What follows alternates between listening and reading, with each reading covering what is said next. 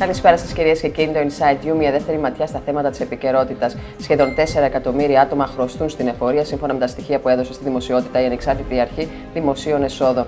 Μαζί μας ο Δημήτρης Πεφάνη. Δημήτρη, καλησπέρα. Καλησπέρα, Τέτα. Πραγματικά τα νούμερα έχουν ε, ξεφύγει. Μιλάμε για πάνω από 98 δισεκατομμύρια ευρώ σε πρόθεσμα χρέη στην εφορία και από, από 4 εκατομμύρια συμπολίτες μας.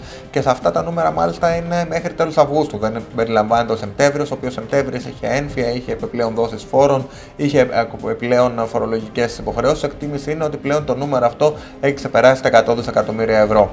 Προφανώς πολλά από τα χρήματα αυτά είναι παλιές οφειλές, είναι πρόστιμα, πάρα πολύ μεγάλα πρόστιμα υπάρχουν ακόμα και περιπτώσεις προστήμων εκατοντάδων εκατομμυρίων ευρώ, τα οποία είναι ξεκάθαρο ότι αυτά δεν πρόκειται να εισπραχθούν ποτέ.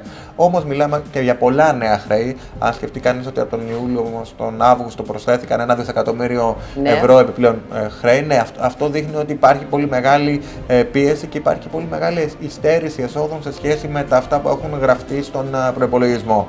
Και αυτό, αν θέλεις, είναι και το μεγάλο σπονοκέφαλο της ε, κυβέρνησης. Ότι έχει φτάσει πλέον η φοροδοτική ικανότητα των Ελλήνων στα όρια της. Είναι ξεκάθαρο ότι δεν μπορούμε να δώσουμε άλλους φόρους, όσο και αν αυξάνονται οι φόροι, οι άμεσοι φόροι, η σπραξιμότητα μειώνεται. Είναι ξεκάθαρο ότι οι φορολογούμενοι έχουν δώσει ό,τι μπορούν να δώσουν. Σε πολλές περιπτώσεις, μάλιστα, είναι τόσο υπέρεγγυοι οι φόροι ώστε πολλοί φτάνουν και λένε ότι okay, δεν υπάρχει περίπτωση.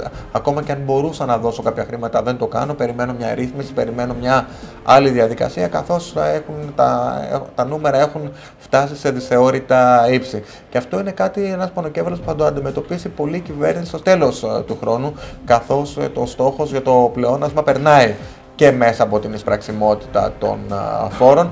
Ε, αυτό σημαίνει ότι θα έχει δυσκολία να φτάσει στο πλεόνασμα το 3,5% και το δεδομένο ότι ε, ο τρόπος με τον οποίο πληρώνουμε τους φόρους είναι οπισθοβαρής, δηλαδή τα περισσότερα κομμάτια πηγαίνουν στο τελευταίο τρίμηνο του έτους, αυτό είναι ένα μεγάλο άγχος που έχει μπροστά της η κυβέρνηση. Αν τα νούμερα αυτά αυξηθούν και μέσα στους επόμενους μήνες, είναι πάρα πολύ δύσκολο να επιτευχθούν οι στόχοι και δεν ξέρει κανείς τι θα σημαίνει αυτό για τη φορολογική πολιτική, για τον προϋπολογισμό, αλλά και για τα όποια επιπλέον μέτρα εκληθεί να λάβει η κυβέρνηση εντός του 2018.